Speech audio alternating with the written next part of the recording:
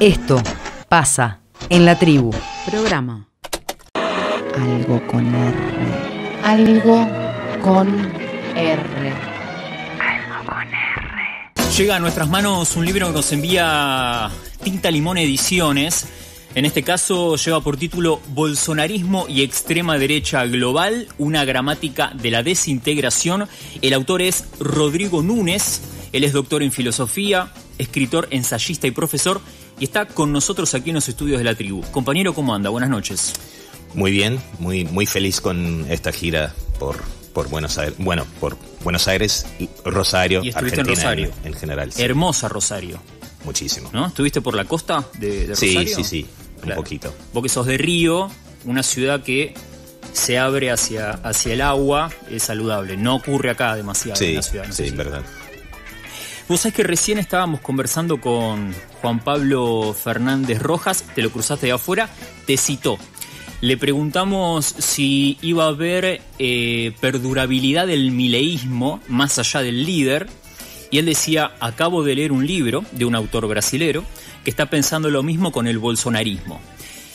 Claro, es interesantísimo leer, eh, de paso recomendamos el libro de, de Rodrigo, porque hay un desfase temporal entre lo que ocurre, ocurrió en Brasil y lo que ocurre acá, porque allá el bolsonarismo, perdón, Bolsonaro ya tuvo su derrota electoral y lo que perdura es ese bolsonarismo. Me interesa preguntarte cuáles son las características de ese bolsonarismo que ahora es una fuerza social. Sí.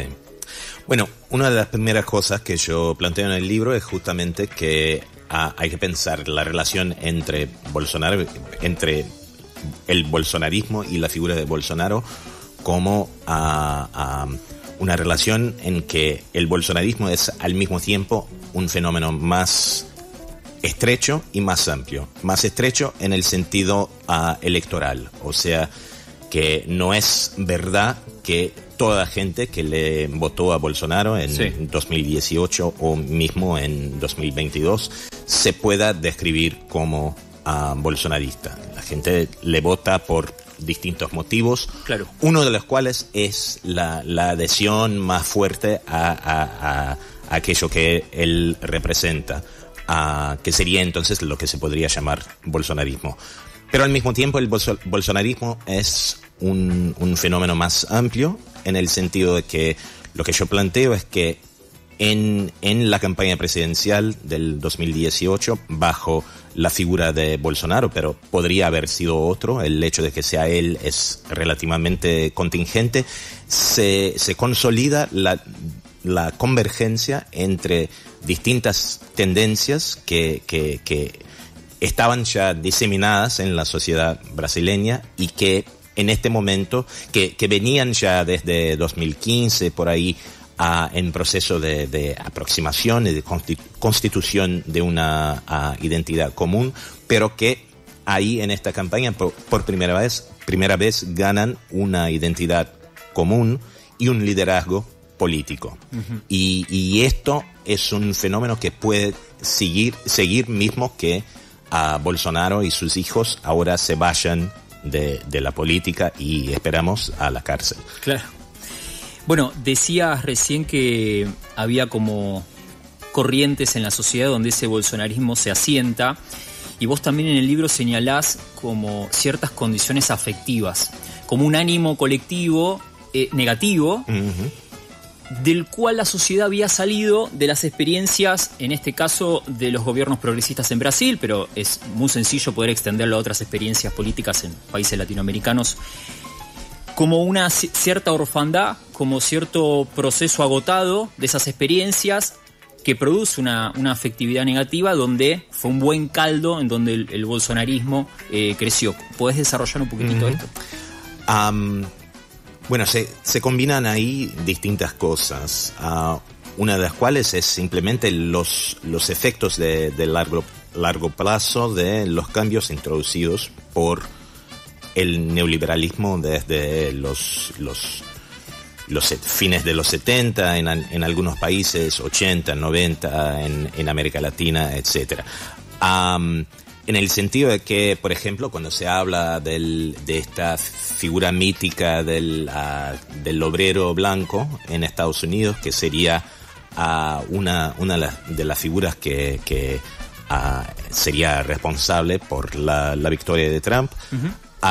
Bueno, esta, esta figura un poco que tiene su, su, su, su, dimensión mítica también, pero esta figura sirve para nombrar una de las grandes víctimas a un, sector social que ha sido una grande víctima de todo el proceso de globalización, ¿no? con, con, el hecho de que las fábricas se van de Estados Unidos a China, a México, a, etcétera. Y entonces hay procesos en que, a, del largo plazo, en que la, la, la, la, gente, mucha gente siente como consecuencia de estos cambios que, que, que se van introduciendo desde los 80, siente que, pierde su lugar en el mundo. Más allá de eso, mucha gente que siente que, el mundo se, se les vuelve irreconocible como consecuencia de políticas de reconocimiento que se han llevado a cabo en un, un momento posterior de la hegemonía queda como por fuera de ese nuevo orden económico. Sí, del, nuevo orden económico, pero además también de, un, nuevo orden cultural y social ah, en que no se reconoce, se, se, les da algún reconocimiento, por ejemplo, a la población LGBTIQ o, que se, se reconoce el, el machismo como un problema etcétera, etcétera. Entonces se acumulan muchas experiencias de, de, estar, de estar perdiendo el, lugar en el mundo. Pero también hay un, un, conjunto de cambios subjetivos que son producidos por estos, por décadas y décadas de, de reformas, de ajustes neoliberales que quizás de manera un poco ingenua algunos se hayan creído uh, revertidos durante el periodo de hegemonía progresista en América Latina, ¿no? que habían pensado que bueno, esta, estos cambios subjetivos ya no tienen efecto. Uh, pero en Brasil, por ejemplo, lo vemos de manera muy clara mientras la economía crecía uh, durante los gobiernos del PT. Y, mucha gente, mucha gente pobre, mucha gente de clase media baja se beneficiaba mucho del crecimiento de la economía y de, los, de los, programas sociales del, del, gobierno. El gobierno hablaba mucho, por ejemplo, de emprendedorismo popular. Y había ahí la idea de que este emprendedorismo popular, esta apuesta en el crecimiento del mercado interno, sería alguna cosa distinta de lo que era bajo el neoliberalismo además se asociaba, y, igual se seguía asociando de manera muy clara, sin, sin que, se cuestionara o se, se, se, se, se, preguntara si eso era una, una, buena idea, se asociaba todavía de manera muy clara el, el mercado al, a, como el espacio de satisfacción de las necesidades materiales y de la necesidad de reconocimiento. Bueno, ¿qué es que pasa cuando estas condiciones ah, materiales, estas condiciones económicas cambian? Mucha gente que se había beneficiado de los programas ah, sociales de, del PT, que, que había sentido...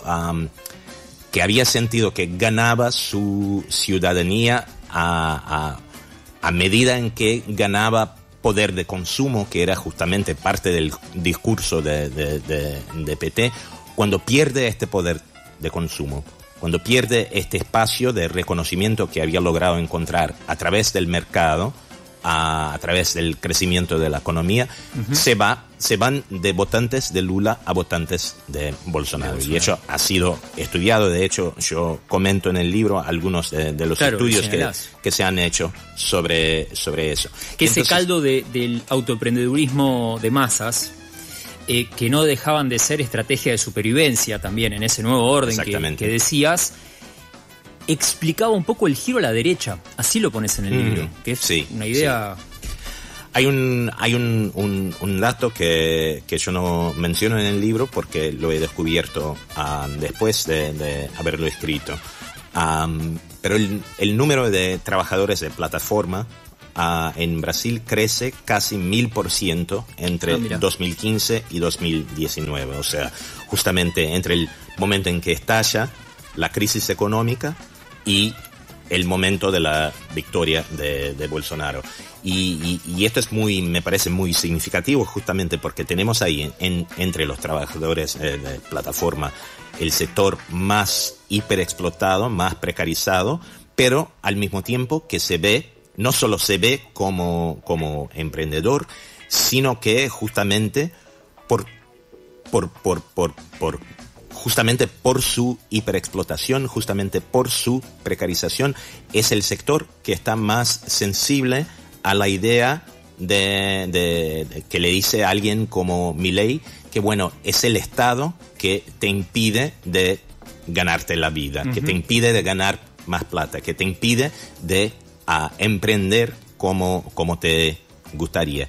Y la figura del troll ahí eh, cumple un rol importante. Vos decís, táctico, ¿no? En este caldo de la, de la afectividad cruel, al menos acá estamos utilizando mucho la palabra cruel para pensar eh, características de esas narrativas, y la verdad que la figura del troll es importante y enlaza un poco con lo que vos estás diciendo, ¿no? Sí, sí.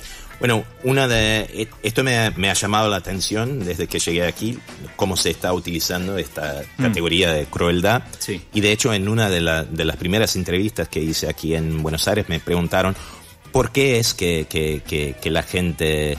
Ah, ¿Por qué es que la gente está abierta a este discurso de crueldad? Y mi respuesta fue, bueno, porque sus condiciones de vida se vuelven cada vez más crueles.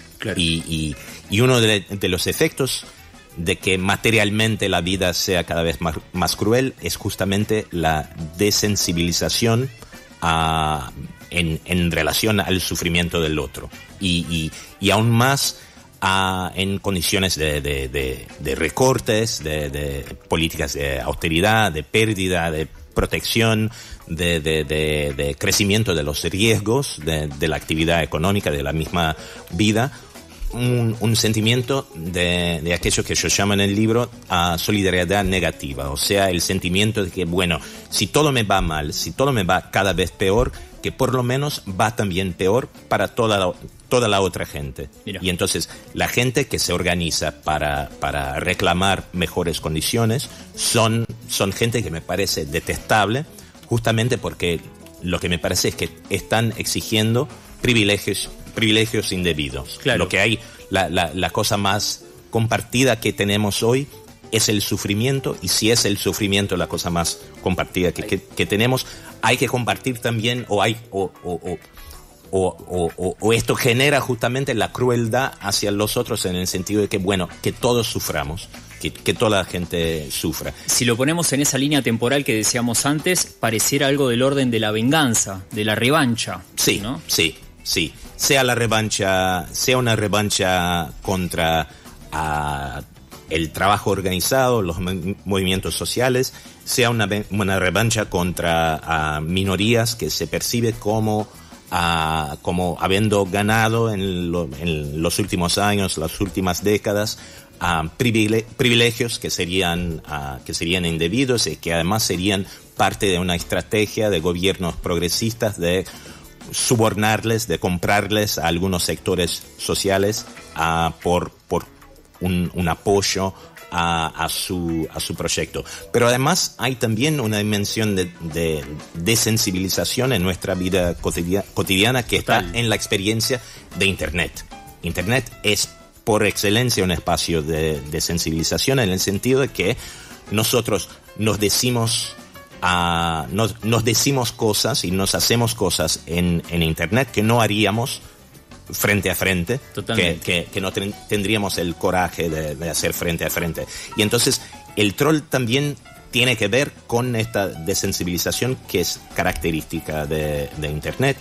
Y bueno, en una situación de crisis, de, legitimidad, de, vacío institucional, le ha servido muy bien a la derecha en el sentido de introducir tras esta, esta apariencia de juego, de, ironía, ah, de broma a sus ideas que, que, después devienen, ah, se vuelven ideas que son parte del debate público. Mismo que ellos digan, eran solo bromas, ah, bueno, ahora ya están ahí, ya se, ya se discuten, etcétera. Total. Te voy a meter en un problema porque decíamos a las 8 cerramos, pero la sensación es que ahora Brasil se reecualizó hacia el centro, ¿no? Lula, quien ahora gobierna, encontró en el centro la manera de, bueno, eh, darle una alternativa a Brasil por Bolsonaro. Te voy a pedir que esto sea en un minuto, es imposible, ya te pido perdón, pero em, hay una normalización, digamos, de la política tras este extraordinario experimento de derechas. Bueno, yo describiría al gobierno Lula justamente en estos términos. Es un gobierno de normalización, lo que de una parte no está mal porque Brasil ha pasado por 10 años de anormalidad. No fue solo el gobierno Bolsonaro, sino lo que vino antes, el impeachment, uh, etc. Ah, entonces, en este sentido, la normalización se siente como bienvenida. Mm. Pero ah, lo, que me lo que me parece, y es justamente esta la nota en que yo encierro el, el libro, me parece que la normalización no es suficiente. O sea, la idea de que se podría volver a la normalidad de hace 20 años me parece enteramente falsa. Estamos viviendo bajo una otra realidad mm. y entonces el sentido de realismo político de hace 20 años no tiene más sentido hoy. Y justamente esto, esto sería finalmente lo que explicaría que figuras que nos parecían durante mucho tiempo absurdas, mm. como Bolsonaro y Milei, sean figuras que tengan condiciones de ganarse elecciones y de constituirse, constituirse una base social. Espectacular. Rodrigo, muchas gracias, Che. Muchas gracias a vos. Rodrigo Núñez, doctor en filosofía, escritor, ensayista, profesor y autor de un librazo, Bolsonarismo y extrema derecha global, una gramática de la desintegración de Tinta Limón Ediciones. Arroba algo con R en Instagram. Arroba algo guion bajo con R en Twitter. Esto pasa en la tribu.